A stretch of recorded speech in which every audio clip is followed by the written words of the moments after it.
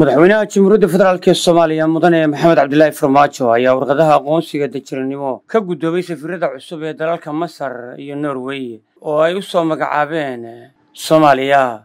Mudane maxamed al siciid axmed albaas iyo mudane guner andres.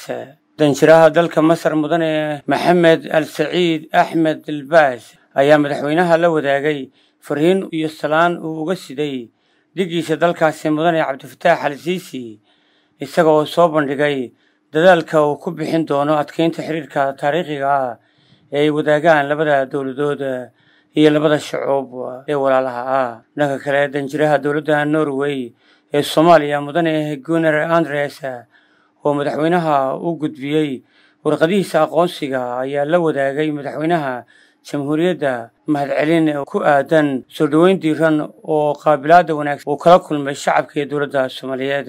Madaxweynaha jamhuuriyadda iyo danjirayaasha cusub ayaa ka wada hadlay xoojinta xiriirka diblomaasiyadeed iyo iskaashiga ay dowladda federaalk soomaaliya la leedahay dowladaha masar iyo norway isagoo madaxweynuhu la wadaagay safiirada guulaha la taaban karo iyo horumarada ballaaran ee dowladda federaalk soomaaliya ka xaqiijisay dhinacyada amniga dhaqaalaha dayn cafinta la dagaalanka argagixisada iyo dibudhiska ciidamada qaranka soomaaliyeed. Agaasime ku-xigeenka warfaafinta madaxtooyada jamhuuriyadda federaalk ee soomaaliyeed maxamuud bashiir jaamac ayaa saxaafadda u faahfaahinaya.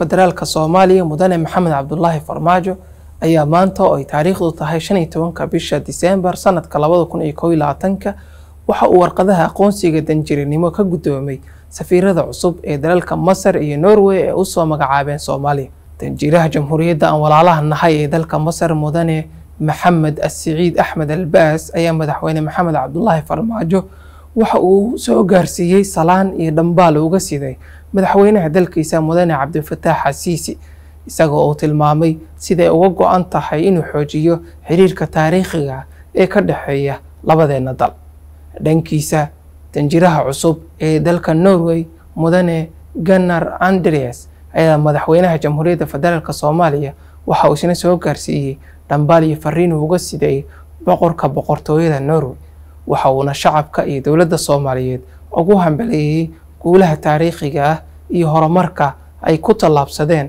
sanadihii la soo dhaafay.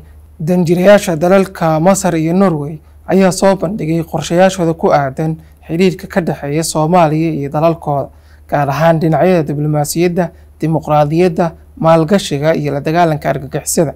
Waxa ayna bogaadiyeen dib u soo kabashada iyo horumarka ballaaran ee ay ku tallaabsadeen shacabka iyo dowladda soomaaliya. Yaasiin faytiin telefishinka caalamiga blisha t v magaalada muqdisho.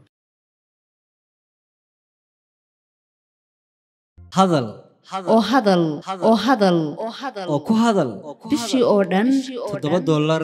Oo keliya. Ku darso fariin kasta oo aad dirtaana waa kuu bilaash. haddaba si aad ugu shubato adeega kaafiye fadlan garaac xidig siddeed eber siddeed afargees ama xidig laba eber laba afargees. Isticmaal shabakadda ugu ballaadhan geeyiga somalilan